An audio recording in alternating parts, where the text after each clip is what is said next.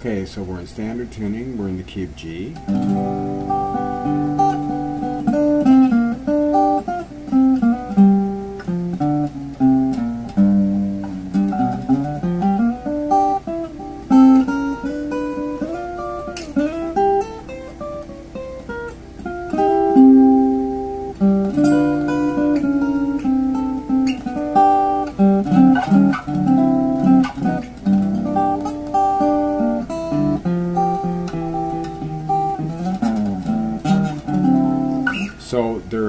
are certainly, you know, there are a lot of guys on YouTube that could probably teach you, you know, scale stuff a lot better than I could. I just play in the same. I showed a video in A the other day on playing off the chord. So this is my G chord, but we're gonna kind of be concentrating on this G chord. So if you're sick of playing in, you know, like I play a lot of stuff in the key of E, I play a lot of stuff in the key of A. I play in open tuning, open G, open D, open D minor, um, whatever. Um, but if you want to add some different stuff, I'm just going to show a couple little things in the key of G, ideas.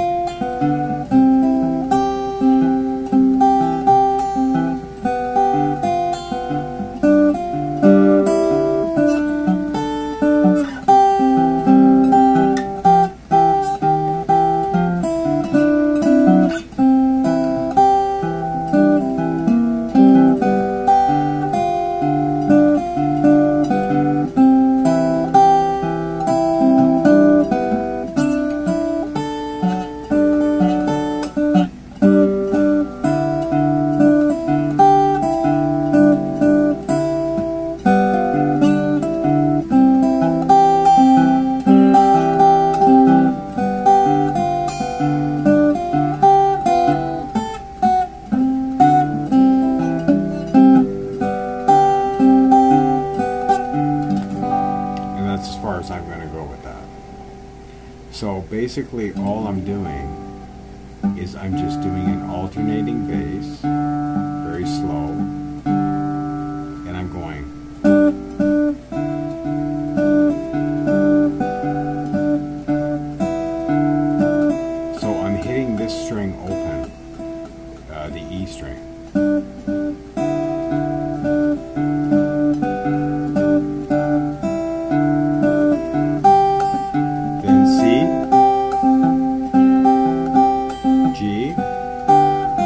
7,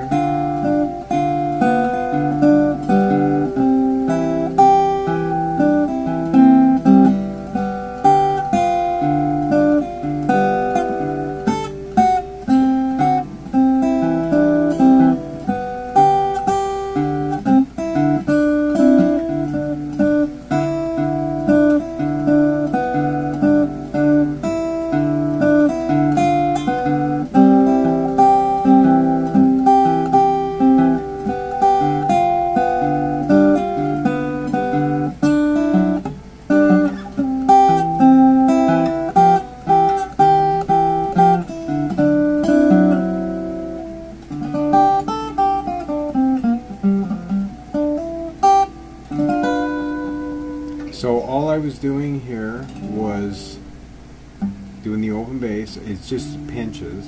So I'm pinching while I'm hitting both of the. I'm going.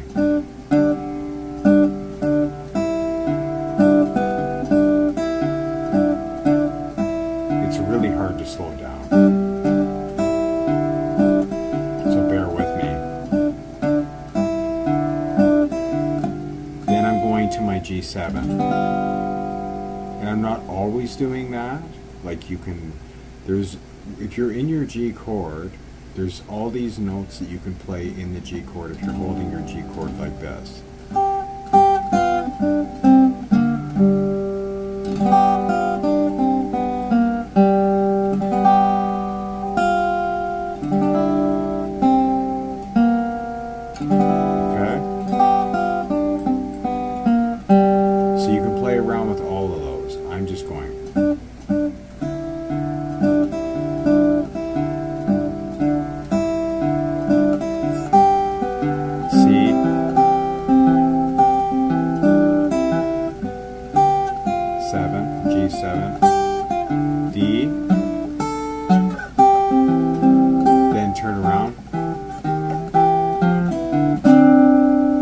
So around, I'm going.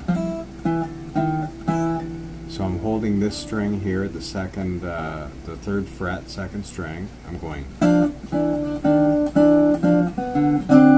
then into my D7. So this is my D7 here. And you can alternate, you can use these notes. You can use this note. C7, same thing. You can use that top note. So I will sometimes go and then hit that top note. So I'll go.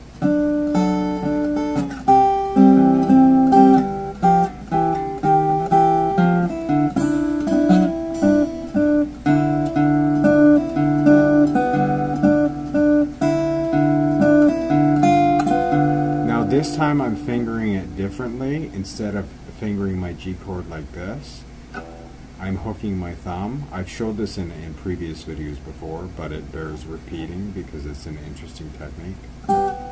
Because it gives me access to the notes up here. So I can go.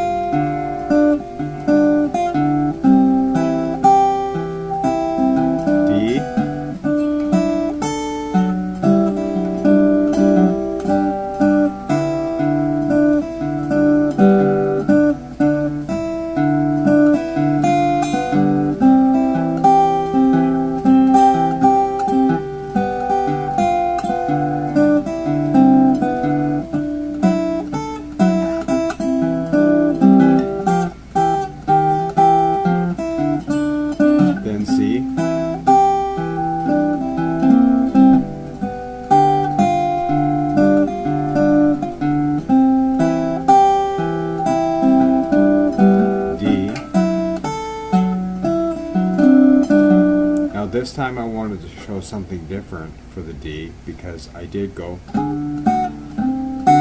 instead of going from this D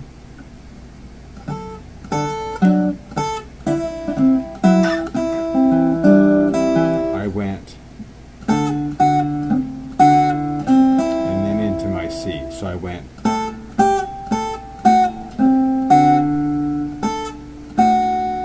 So I kept this note, but remember I'm deadening it.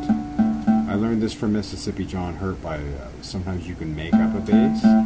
So even though this is an A note, I'm deadening it. I'm going. I'll try it again.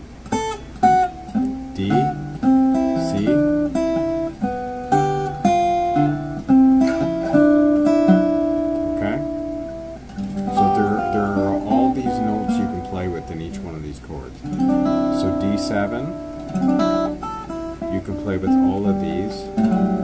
same as your C7.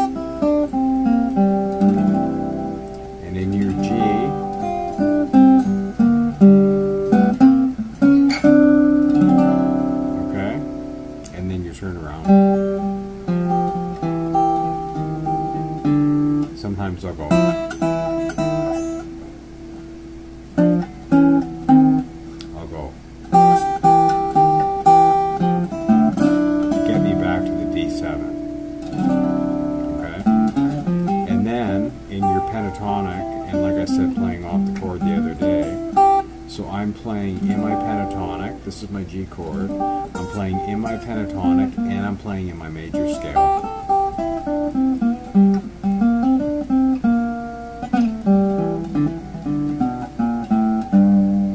And then you can end it on a G.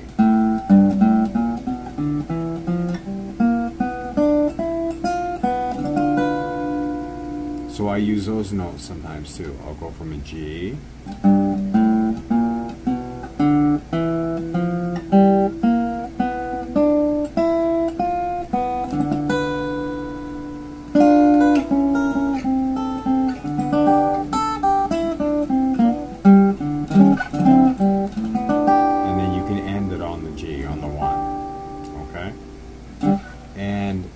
was an alternating bass thing. And I mean, there's all kinds of things you can do. I mean, I'm going.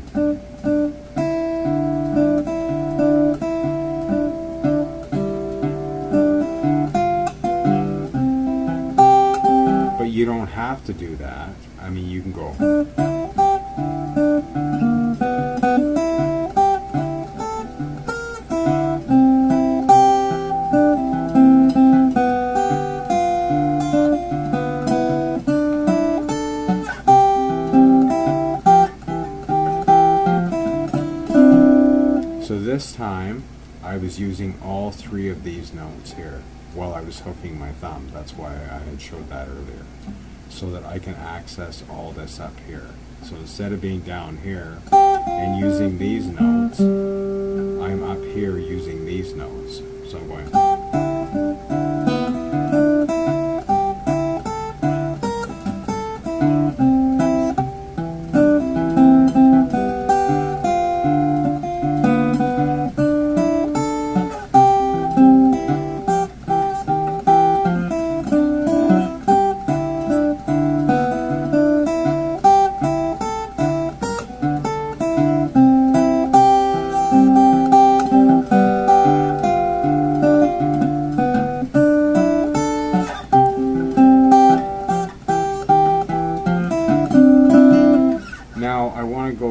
We're going to stay in G.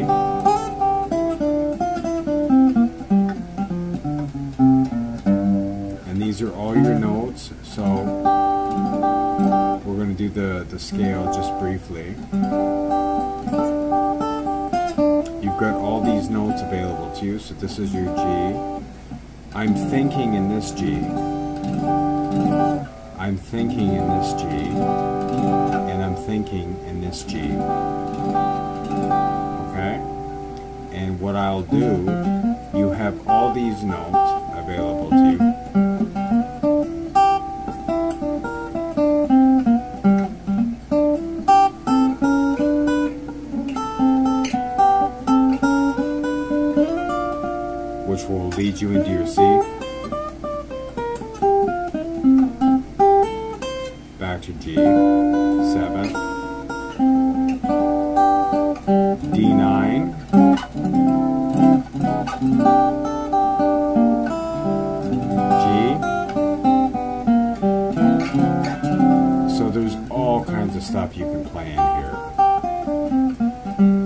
You could do a shuffle. So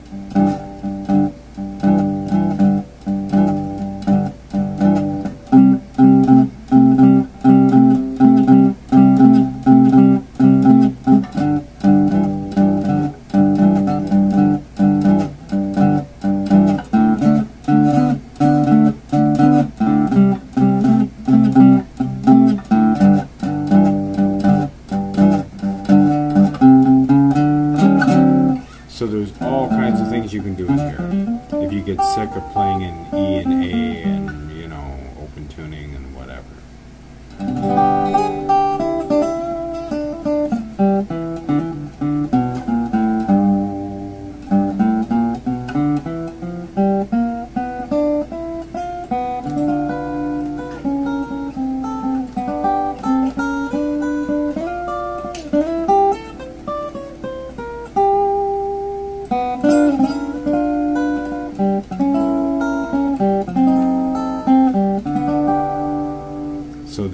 Chords I showed in the key of A, and I, I know that this is a G7. I don't know. Now I will go. You can go like that, follow the G7 all the way down. I don't know what these chords are, but they work too. So you can go.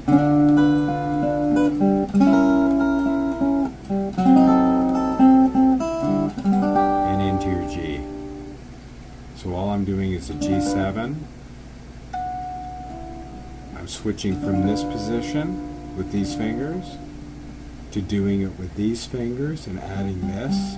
so it's some kind of a diminished.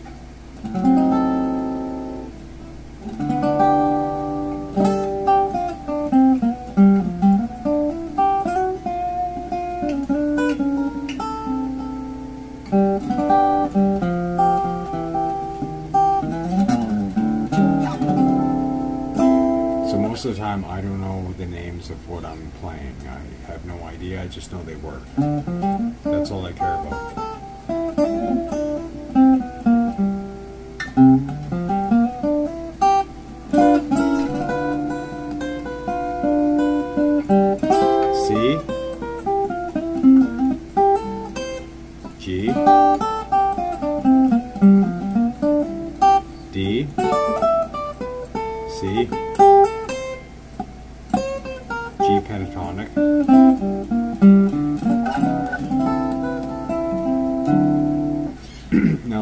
Thing that I wanted to do was I wanted to just I'm going to do a very basic sketch of uh, Robert Johnson's song um, "Love in Vain," which is in the key of G. So, but it's a constant bass. Like he's always beating on that bass. So now we know alternating in G.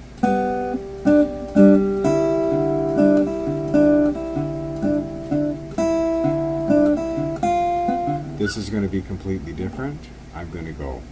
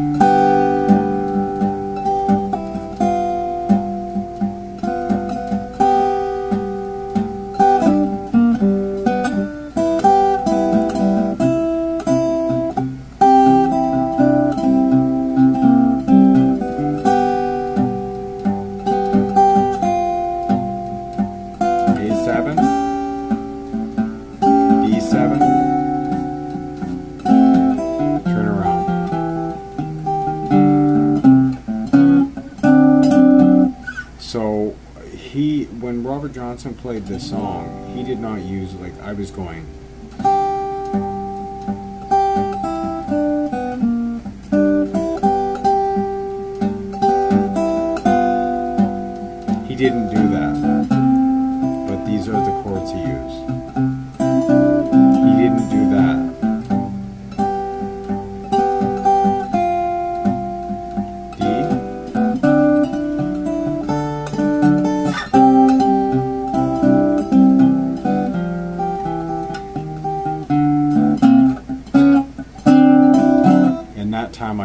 put in the A7. So anyway, there are just some basic ideas in the key of G if you want to get out of um, playing uh, in E and A or open tuning. Just something to play around with. Anyway, thanks for watching.